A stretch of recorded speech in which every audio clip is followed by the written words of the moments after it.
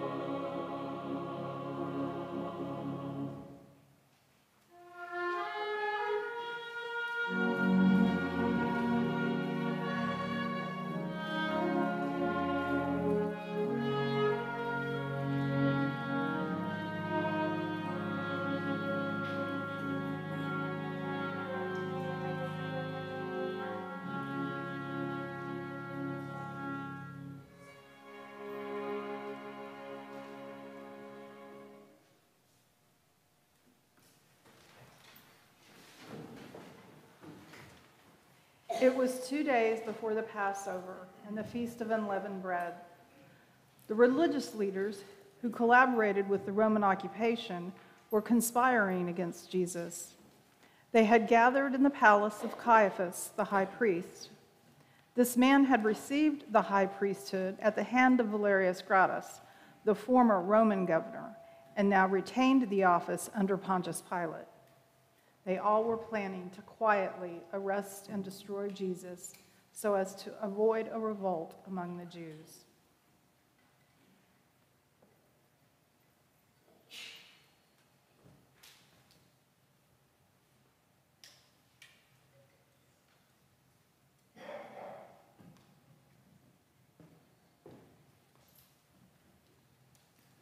Then one of the twelve, named Judas, son of Simon the Iscariot, went to the chief priest and asked, What will you give me if I deliver Jesus to you for the governor? When they heard the offer, they were glad and promised Judas 30 pieces of silver. From that hour, he sought an opportunity to betray Jesus.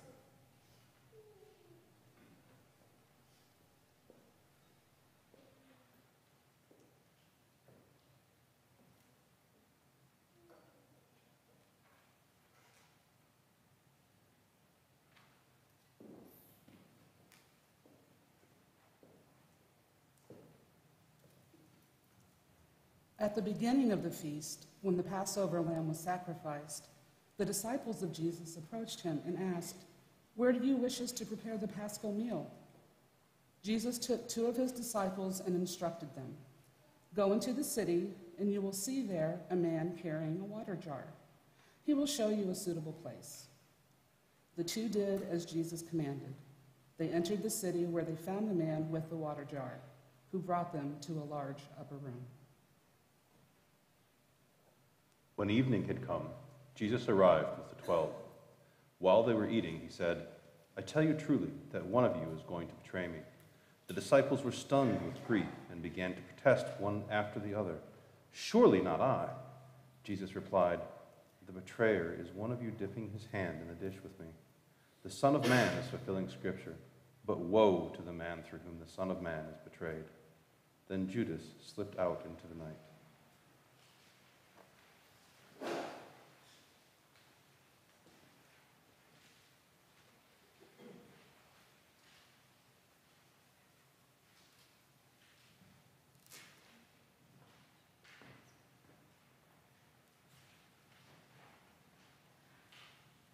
As they were eating, Jesus took bread.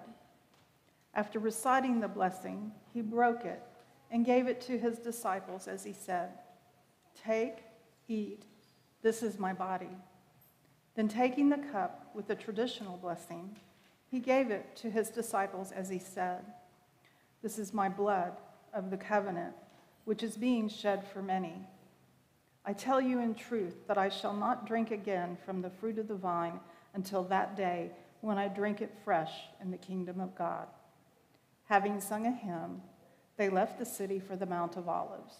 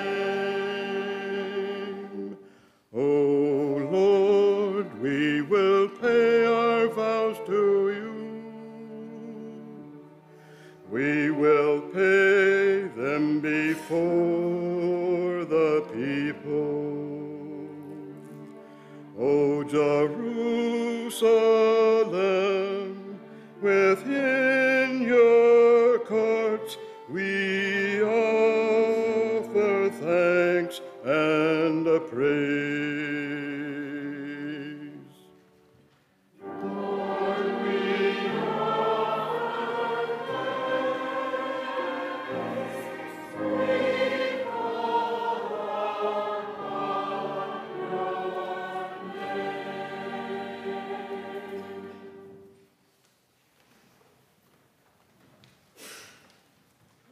As they walked, Jesus said to his disciples, You will all desert me this very night.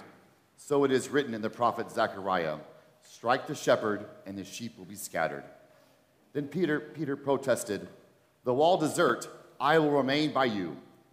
Jesus replied, I tell you truly that in this very night, before the cock crows twice, you shall deny me three times. Still, Peter maintained, Even though I must die with you, I will never deny you. And so declared all the disciples.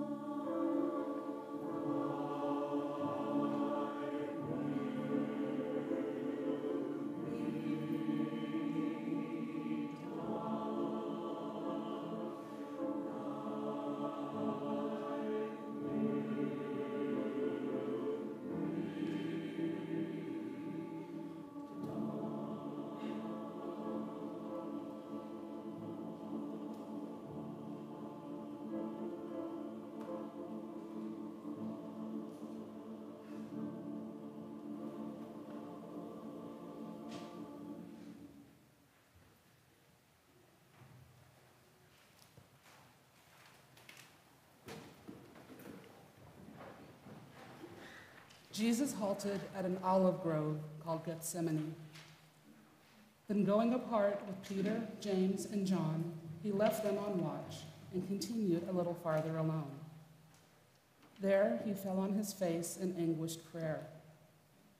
Soon he returned to the three on watch and found them sleeping. Rousing them, he asked Peter, Could you not watch with me for just one hour? Watch and pray that you are not put to the test, for the spirit is willing, but the flesh is weak. Again, Jesus went apart in troubled prayer. And again he returned to find the disciples sleeping, for their eyes were heavy. A third time Jesus withdrew to pray, and a third time he found the disciples sleeping. Then Jesus said, Sleep on and finish your rest. Now is the time for the Son of Man to be delivered into the hands of sinners. Here comes my betrayer.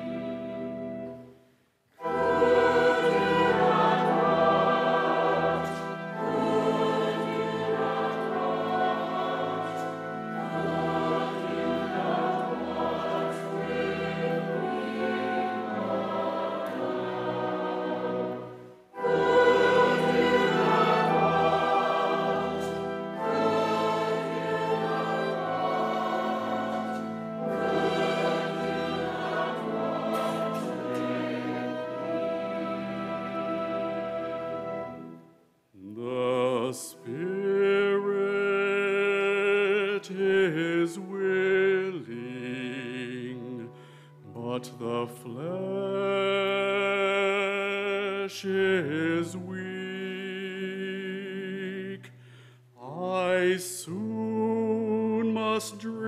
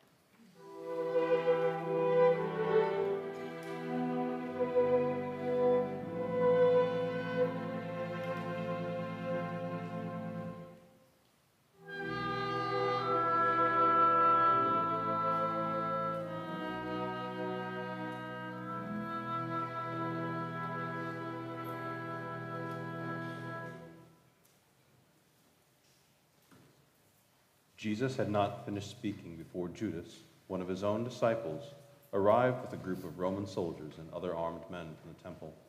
Now the betrayer had arranged with the authorities for a sign and had said, The man whom I kiss is the one you want. In accord with this arrangement, Judas went directly to Jesus and cried out, Greetings, Master! Then he gave him the kiss. Jesus responded, Judas, would you betray the Son of Man with a kiss? Immediately the soldiers laid hands on Jesus and held him fast. Then one of the disciples with Jesus drew his sword and cut off an ear from the slave of the high priest. But Jesus said to him, Sheathe your sword. All who take up the sword will perish by the sword. Do you not know that I can call upon my Father and that he will respond at once with more than twelve legions of angels? Then turning to the mob, Jesus continued, Have you come for me as against a rebel bandit with swords and clubs? Why did you not seize me in the temple where I sat teaching by day? Were you so afraid of the religious authorities that you must come for me by stealth? Nevertheless, your actions are fulfilling the words of the prophets. Then all of his disciples forsook him and fled.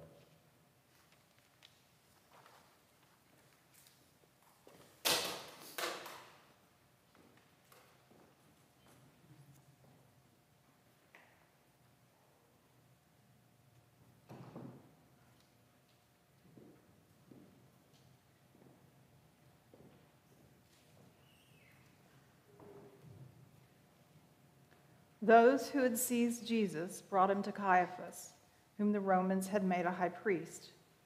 Peter followed at a distance as far as the courtyard. There he sat with the attendants and warmed himself by the fire.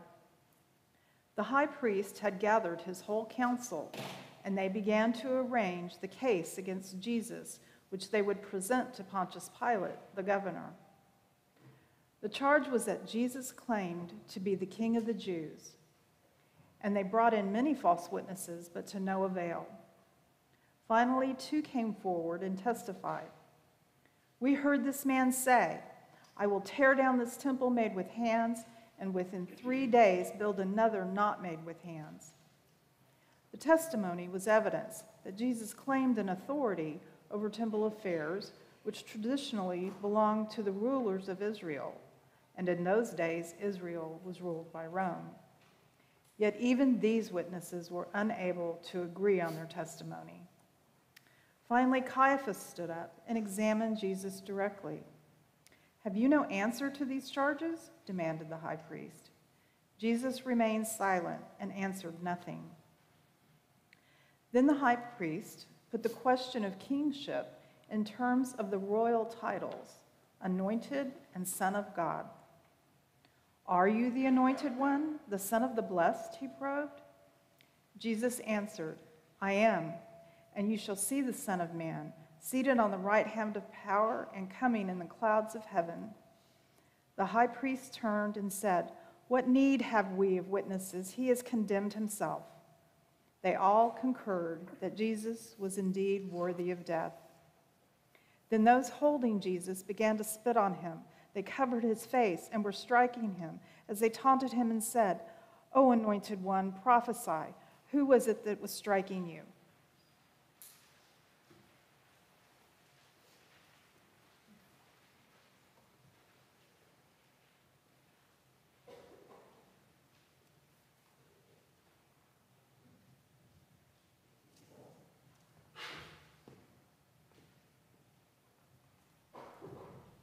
Now Peter was warming himself in the courtyard when a small slave girl entered.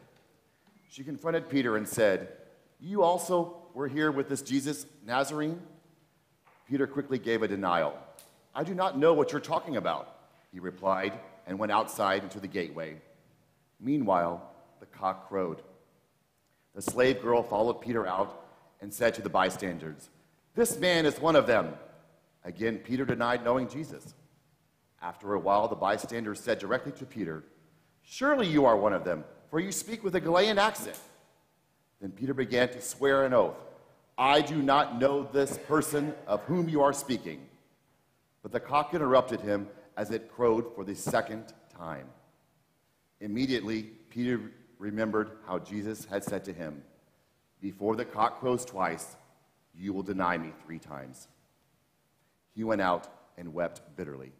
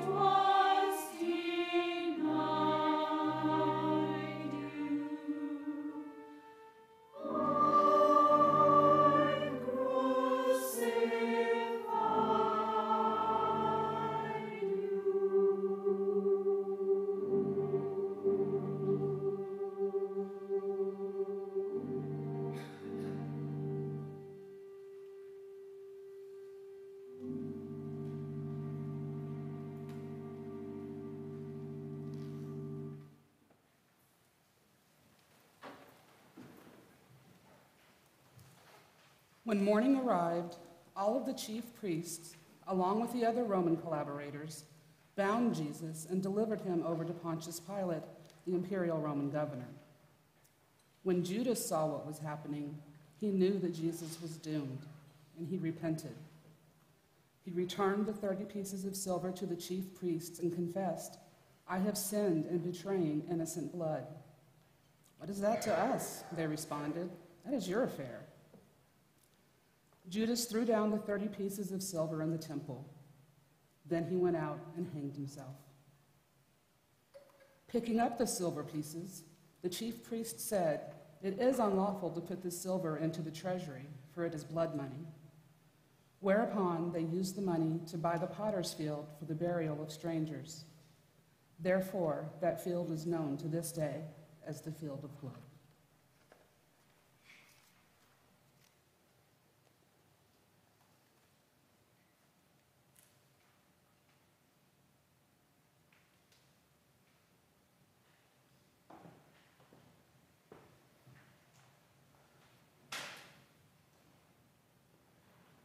Jesus stood before the Roman governor as the accusers made their charge. We found this man perverting our nation, they said. He was forbidding us to pay taxes to the emperor and proclaiming himself anointed king. The governor asked, Are you the king of the Jews? Jesus answered, You have said so. The chief priests were accusing him of many things. Therefore, Pilate again spoke to Jesus. Have you no answer to give? He asked. Look at how many accusations they are making. Jesus astonished Pilate by remaining silent.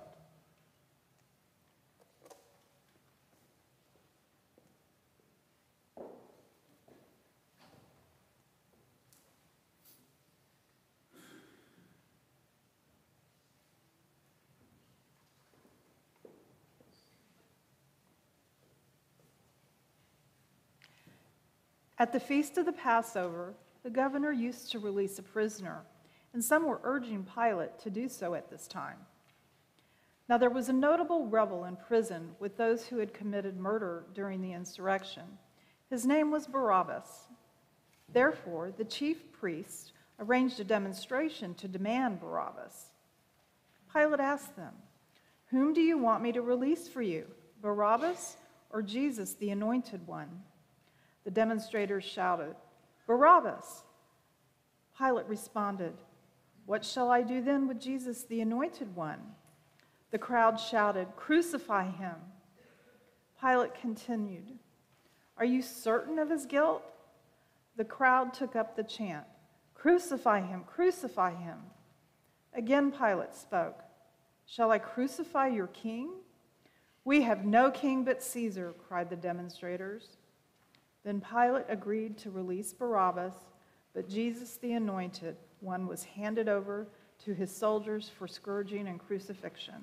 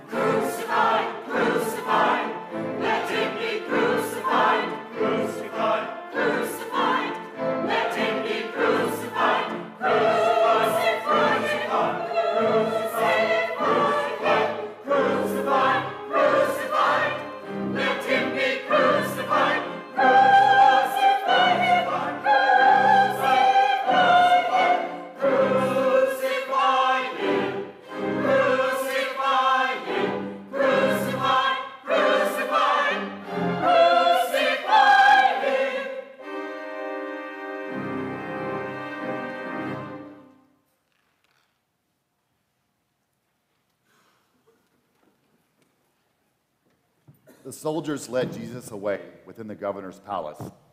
There they assembled the whole battalion. They clothed Jesus in royal purple. They set a crown of thorns upon his head and shoved a reed between his fingers for a scepter. They began to mock him by kneeling before him and proclaiming, Hail, King of the Jews! They also spat on him and smote, and smote him in the head with a stick. Then, after mocking him, they took away the purple robe, returned his own clothes, and brought him out to crucify him.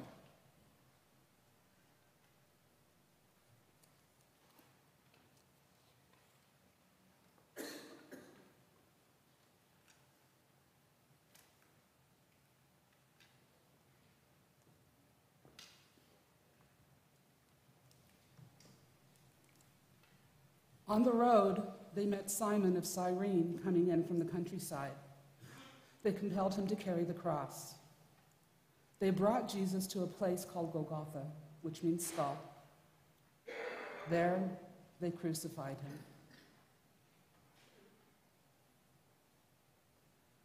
They offered him wine mingled with myrrh, but he refused it. His garments they divided among themselves, casting lots for them. Over his head they inscribed the charge against him, the King of the Jews. Also, there were two insurrectionists crucified with him, one to his right and one to his left. Those who passed by were shaking their heads in scorn and saying, So you would destroy the temple and rebuild it in three days? Save yourself. Come down from the cross. Likewise, the priestly collaborators mocked him as they said to one another, He saved others, himself he cannot save. Let the anointed one, the King of Israel, come down from the cross that we may see and believe. Even the two crucified with him reviled him.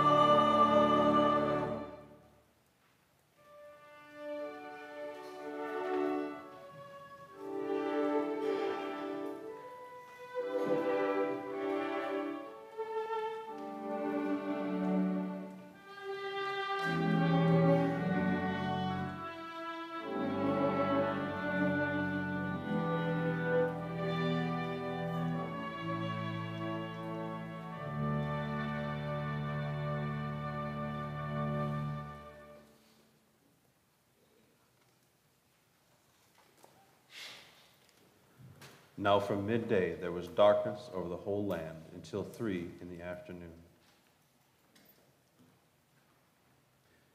At that hour, Jesus cried out in a loud voice, Eli, Eli, lama sabachthani, words that mean, My God, my God, why have you forsaken me? Some of the bystanders said, Look, he is calling for Elijah. One of them put a sponge full of vinegar on a stick and laid it to his lips. Others said, Wait, let us see whether Elijah will come to take him down. Then Jesus, having uttered a loud cry, breathed his last breath.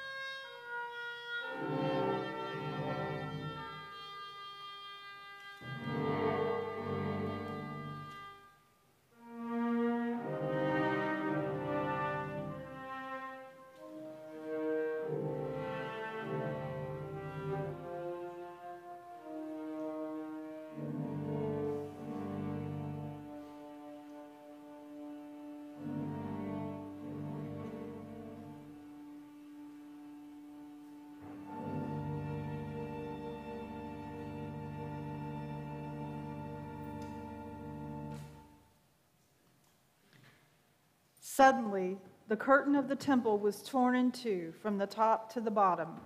The earth shook, the rocks were split, even the tombs of the dead were opened.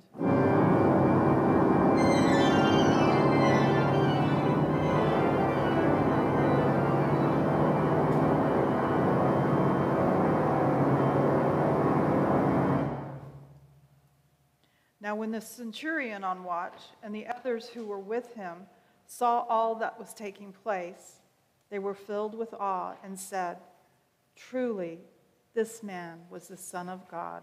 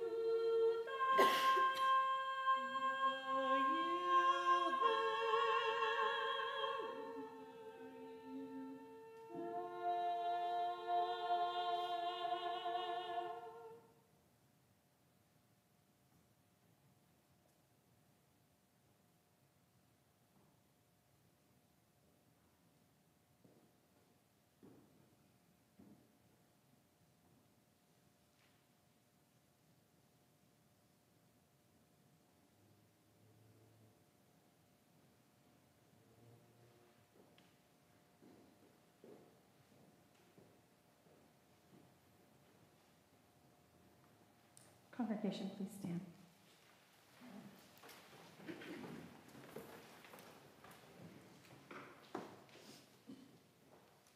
May Jesus Christ, who for our sake became obedient unto death, yes, even death on a cross, keep you and strengthen you this night and forevermore.